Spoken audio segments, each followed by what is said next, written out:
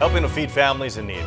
The Kearsarge Food Hub is running a silent auction, an online fundraiser through the end of the month. The nonprofit donates about 2,000 pounds of locally sourced food to 200 families each month.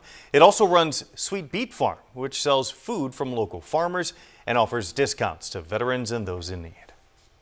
It will directly support families this holiday season. Um, these funds that we raise from our community, from our donors, allow us to pay farmers for their produce, allow us to have jobs specifically dedicated to coordinating with food pantries.